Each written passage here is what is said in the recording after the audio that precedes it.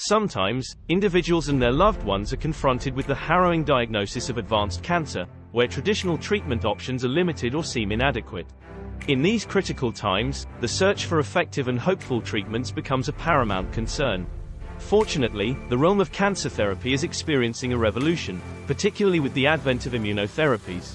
These groundbreaking treatments harness a patient's own immune system to combat cancer, offering a new ray of hope in the fight against this formidable disease. The crux of this approach lies in overcoming the cancer's ability to elude immune detection.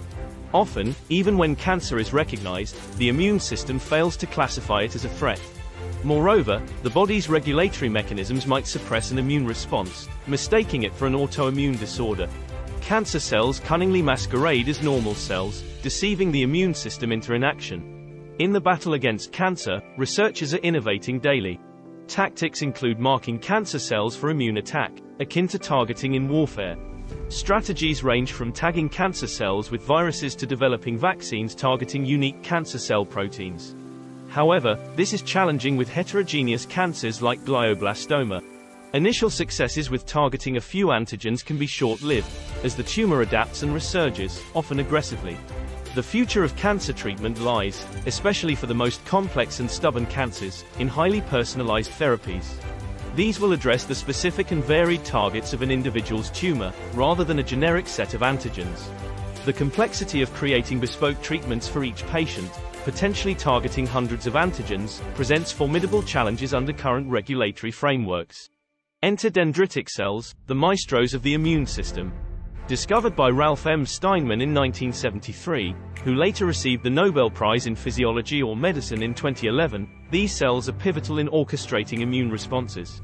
Dendritic cells possess the unique ability to identify and present antigens, effectively commanding the immune system. One promising approach, pioneered by researchers at UCLA, leverages the patient's dendritic cells. In this method, a patient's tumor is removed, frozen, and then exposed to specially treated dendritic cells from the patient. These cells are adept at identifying foreign antigens, including mutations and viral particles that contribute to cancer. This personalized process results in dendritic cells that can recognize a vast array of cancer-specific antigens, hundreds or even thousands of potential targets.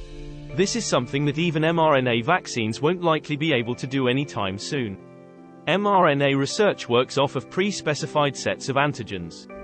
But dendritic cells used in DCVax-L will, by their nature, identify mutations not ever identified by cancer researchers, putting them leaps and bounds ahead of mRNA research using only previously identified targets.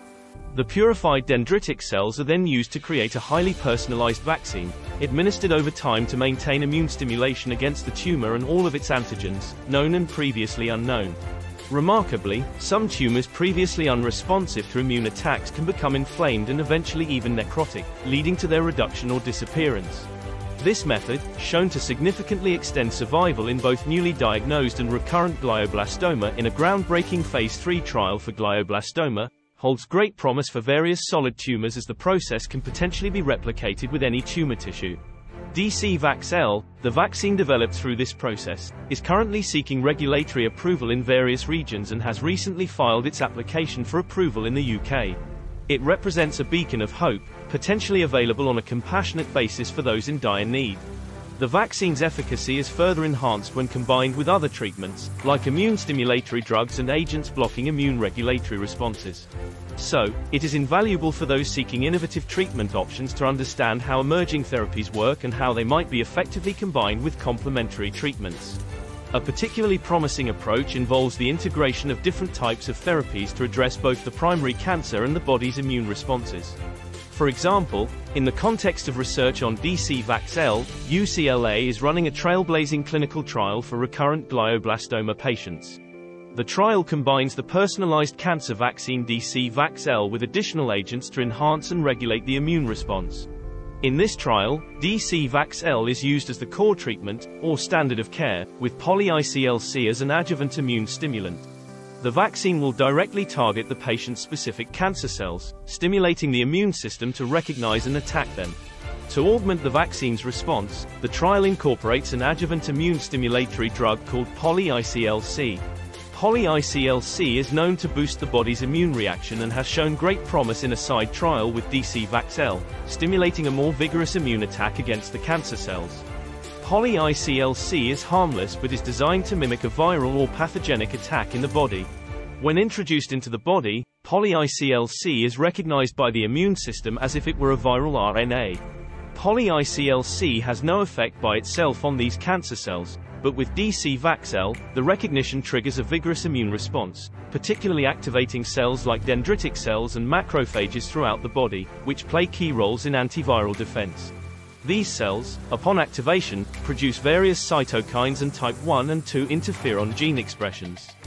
A previous study observed many encouraging responses combining DCVax-L only with poly-ICLC, some of which were systemic T-cell activation, monocyte proliferation, a decrease in markers associated with T-cell exhaustion, and various reactions indicating enhanced systemic T-cell activity and improved cellular fitness. These responses are crucial for initiating and invigorating tumor immune responses. A paper submitted by UCLA researchers to a major journal with extremely promising results for that previous, small side trial is in preprint form and is pending final release of a peer-reviewed version. Additionally, the currently enrolling combination trial includes Keytruda for some patients who have received both DCVax-L and poly-ICLC. I believe that it is likely hoped that by adding Keytruda, the number of patients who are most responsive to the therapy will be substantially expanded. From Merck, Keytruda is a well-known immunotherapy drug. Keytruda works by blocking a specific immune regulatory response known as PD-1, a pathway that cancers often exploit to evade immune detection. By inhibiting this pathway, Keytruda prevents cancer cells from hiding again from the immune system, thereby allowing the immune cells to better identify and destroy them. This synergistic approach, using DCVax-L to target the cancer, poly-ICLC to amplify the immune response, and Keytruda to circumvent cancer's immune evasion tactics, represents a comprehensive strategy in cancer treatment. This combination aims to not only attack the cancer directly but also to modulate the immune system in a way that overcomes its natural tendency to regulate or suppress excessive responses, which can be a hurdle in effective cancer treatment. The excitement surrounding these kinds of combination treatments and trials, not just this one example, but others as well, is palpable in the oncology community. They embody a holistic approach to cancer therapy, addressing the disease from multiple angles. This kind of multifaceted strategic approach could potentially lead to more effective treatments for various types of cancers, marking a significant advancement in the field of oncology. Doctors might use additional or other drugs to address immune regulatory responses, as they are identified. The future of oncology is ripe with possibilities for agnostic treatments targeting tumors directly. Combinations of these treatments with others, like DCVax-L, are a testament to the innovative spirit driving cancer therapy forward.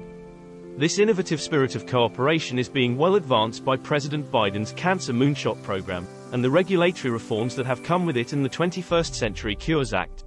Trials, like UCLA's combination of the vaccine with immune stimulatory and regulatory response blocking drugs, embody the promise of this new era in cancer treatment.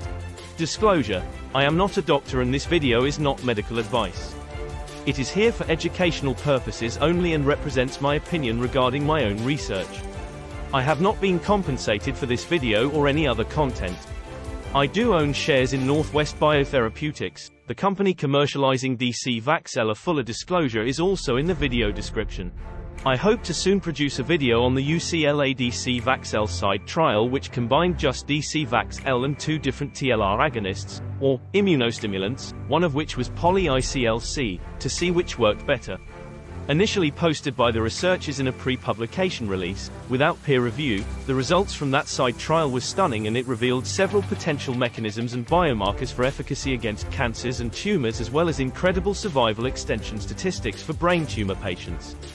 It is hoped that it will be published in a major peer-reviewed journal very soon. So please watch for that.